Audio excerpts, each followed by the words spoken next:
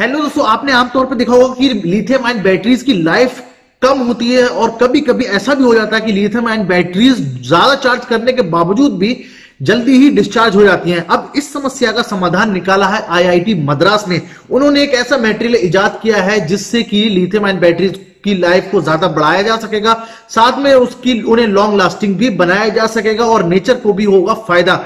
क्या है पूरी खबर? इसके बारे में बात करेंगे इस वीडियो में। तो देखते रहिए वीडियो। लास्ट तक मैं हूँ आप देखना शुरू चुके हैं टेक्निकल चार्जर तो दोस्तों, खबर कुछ इस तरह से है कि आईआईटी मद्रास ने के इंस्टीट्यूट ऑफ़ टेक्नोलॉजी के साथ में मिलकर एक नए मेटेरियल की खोज की है जो हमारे फ़िलहाल की जो करंट में लिथियम आयन बैटरीज यूज़ की जा रही हैं, उनको पूरी तरीके से चेंज कर देगी। फ़िलहाल अगर आप अभी देखते हैं लिथियम आयन बैटरीज को तो चारों तरफ़ उसी से चलने वाले आपको प्रोडक्ट दिखाई देंगे। चाहे आपका स्मार्टफ़ोन हो, चाहे आपका टैबलेट हो लैपटॉप हो कैमरा हो रोबोट्स हो, ये सारे ही लिथियम आयन बैटरीज पर काम कर रहे हैं। क्योंकि यही एक इस समय पर सबसे आसान आसान और सबसे सुलभ तरीका है किसी भी चीज़ को मूवमेंट बनाने के लिए, उसको पावर देने के लिए।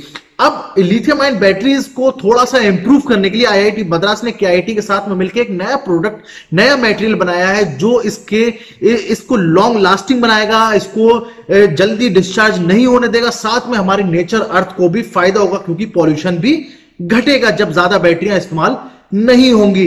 बात करते हैं कि अभी जो लिथियम आयन बैटरीज इस्तेमाल हो रही हैं, उसमें जो कैथोड आयन होते हैं, वो जनरेट होते हैं निकिल से बने हुए कैथोड से।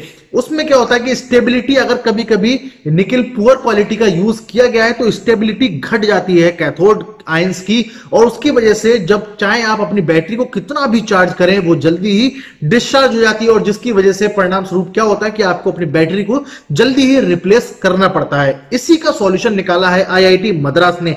निकिल के साथ साथ उसने चार और मेटेरियल को लिया है और एक कंपोजिट मेटेरियल बनाया है। उन चार मेटेरियल में निकिल के साथ में मैग्नीज है कोवाल्ट है, जिंक है और कॉपर को यूज़ किया गया है। इन पाँचों मेटेरियल को मिलाने के बाद में एक नए मेटेरियल को बनाया गया है, जिससे कि अब आने वाली लिथियम आयन बैटरीज के कैथोड आयन को हम ज़्यादा स्टेबल बना सकते हैं ताकि वो ज़्यादा लॉन्ग लास्टिंग हो, ज़्यादा बेहतर बेहतर तरीके से पावर को अपने पास कंजर्व कंज्यूम करके रख सके और समय पर जितनी हमें ज़रूरत है, ज़्यादा समय तक हमें एनर्जी और पावर भी दे सके। जैसा कि मैंने आपको बताया कि आईआईटी मद्रास ने इन पाँच मटेरियल्स को मिलाकर एक नया मटेरियल बनाया है यह कहलाता है हाई एंट्रोपी मटेरियल इससे क्या होगा कि जो जो भी आपकी कैथोड आयंस होते हैं, वहाँ पर ऑक्सीजन आयंस का जनरेशन होता है, जिससे ऑक्सीजन के साथ में जो स्टेबिलिटी आनी चाहिए, वो नहीं आ पाती है। लेकिन अब जो हाई एंट्रोपी